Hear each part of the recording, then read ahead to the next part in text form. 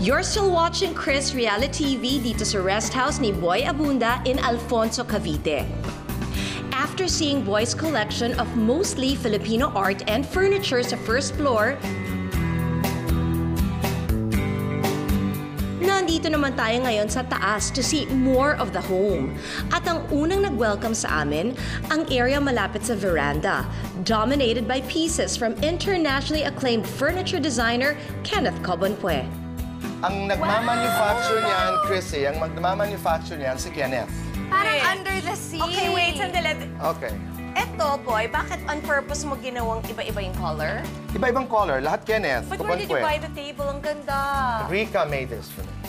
Para mag-match. Mag-match sa mga Kenneth Cobonpue pieces. Very Para nice. siyang underwater, yung parang marine life. Parang Mga oh, blooms. Mga blooms, jellyfish. Luisa Robinson naman uh, is a light designer based in Cebu, uh, manufactured by Kenneth Sino Cobonpue. sila, boy? This is done by Guillermo, the one who did the oblation. Guillermo Tolentino po. That's wood carving. Si Guillermo Tolentino po ang gumawa ng uh, oblation sa University of the Philippines. Siya po ang gumawa ho nito. Paper lang siya.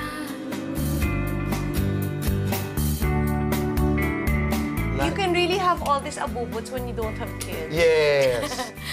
Kasi it has to be child safe. Correct. And ano, Pero Pero no, you can't help it. They throw balls. Yeah. But kung ano-anong ginagawa Correct. lang, mababasag lang, iiyak ka lang, away lang kayo. Di okay na, ganyan na lang. Wala na lang.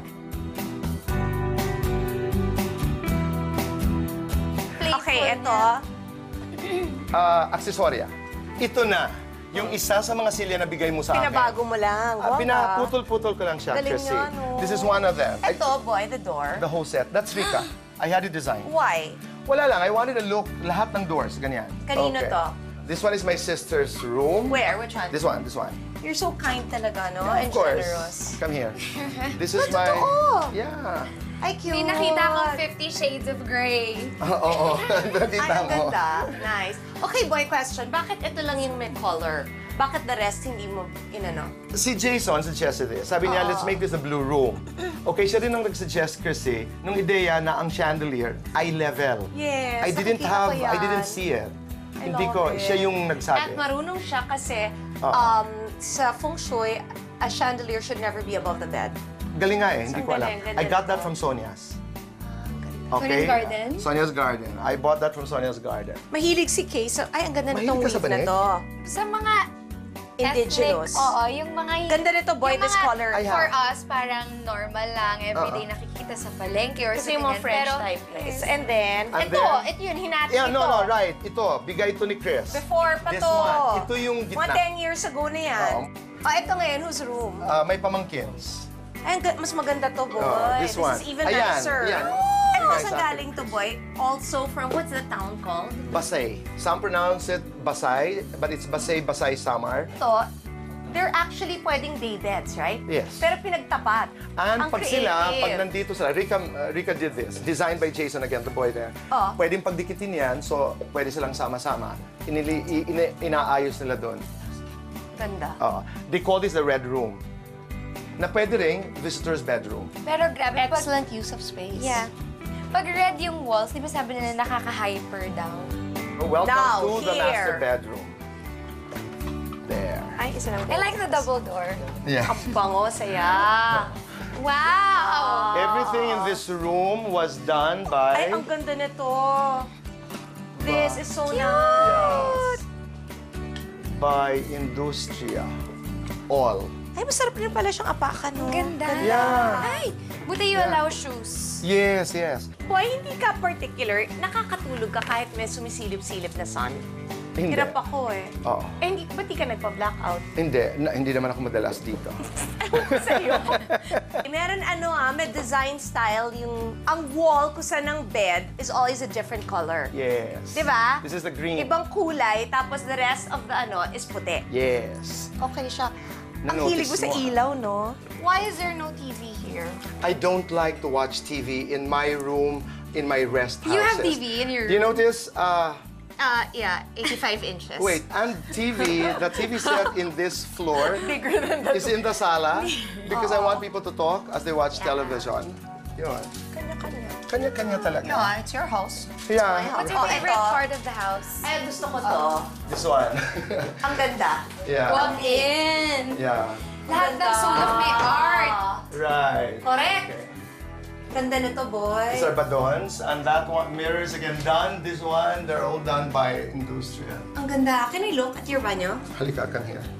Very nice. Okay, why are there two doors? No, this is the bathroom. That one is the veranda. Ah, may veranda. Okay. Ito, hindi mo na ito pinabago. Uh, the tiles hindi ko pinabago. As is na I siya. wanna redo this uh, thing. Uh, But Okay. it's, it's okay. Who buys the candles? Uh, Regalo or regalo. ikaw? All your houses look the same. No. May name yung house mo, Tito Boy. It's a nice idea, ha, to name houses. No. Saan mo in-order to, boy? Uh, the sheets and who the, did ano, this? The duvet. Ganda siya. Um, part of the design, Chrissy. Yeah, but I'm sure they ordered it somewhere. Yeah, it came uh, Ganda. eh. Oh. No. Basta it's in Mandaluyong. somewhere. Oo. And This medyo one- matagal siya mag-deliver. Mga three months. Ay, look! yun, Meron tama? siyang ano. Oh, yan yun. Okay. May balcony. Oh, look at the veranda, Chrissy. So this one, you can come here. Like it outdoors. It is, it At least is. hindi Ayoko sa balcony. Ako sumupunta doon. Hindi ka May mahilig sa- feeling ako sa balcony. Pag hindi siya enclosed in glass na Hindi ganun. ka talaga? Feeling no, ko nung ano thrown naman eh, over it's the not, it's not balcony. mataas. Meron ako feeling na may mga gustong pumatay sa akin, tatapon lang nila ako. May lady guard ka naman eh. Ayoko.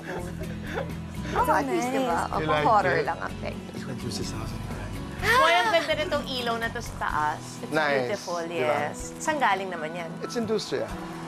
Uh, the, Milyones ang kinita ng the industriya pieces yan sa'yo. here uh, were all done by Jude Chuitico of Industria. Sila lang. Jude This one is Rica uh, de la Merced. The bed? The bed is Jude. Oo. Ng kinita ni Jude. But it's very good, Chrissy. You have a dream house, Tita Chris? No, temporary pa lang yan in between until I get my... I just ano. told her, the next house is, that's offered, buy na. Eh, wala. Kasi naunahan like, na it's naman taking ako. her forever to Eight buy a months na house. yan. Okay lang. Pag lumaki na sila, Bimbi.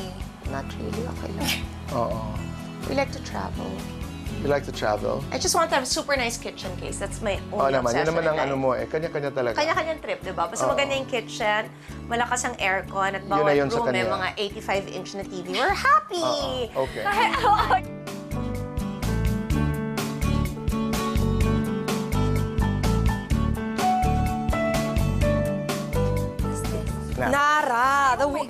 the wood is super mahal. And this, this, itong stainless steel na to. Because one ganun ng stainless steel na magpagawa ka lang ng cabinet. Yeah, this is- My God, eh, ito pa. Grabe.